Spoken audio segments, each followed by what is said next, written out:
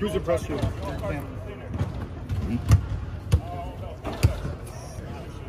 I know no comment, man. I'm just just here to, to, to get through camp and prepare for the season. D'Angelo Russell has had some messy years with the Lakers since getting traded to Los Angeles from the Minnesota Timberwolves two seasons ago.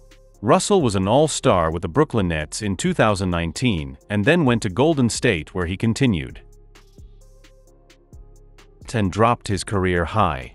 Russell got traded to the Lakers two seasons ago, and like the other people who come to the Lakers, the fans don't take bad performances lightly.